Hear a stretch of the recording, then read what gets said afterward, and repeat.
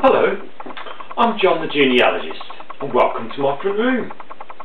Today we're going to discuss a little bit about C.J. Sansom's third book in the series about Matthew Shardlake, a lawyer, which is set in Tudor times. It's called Sovereign and was published in the year 2006. The fourth book has just been recently published and it's called Revelation. If you enjoyed my reading of this book, I'm going to read a little bit more another time. Just leave some feedback underneath the video and I'll gladly read what you say and come back and read some more. I also read in several different European languages. So here we go. Here's C.J. Sansom's book Sovereign, just the first few pages of chapter 1, just to whet your appetites.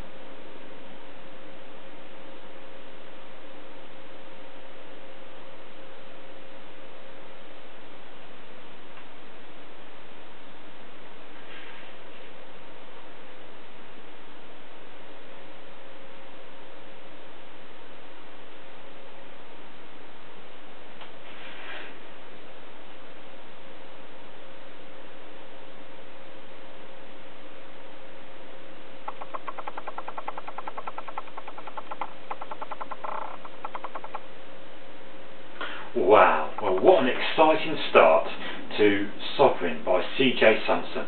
I hope you enjoyed that as much as me. It's going to be an enthralling read, I'm sure. If you leave me some feedback, I'll know whether to carry on reading a little bit more of the book, or indeed read some other books in the same series. Thank you, and I hope that you'll join me again another time.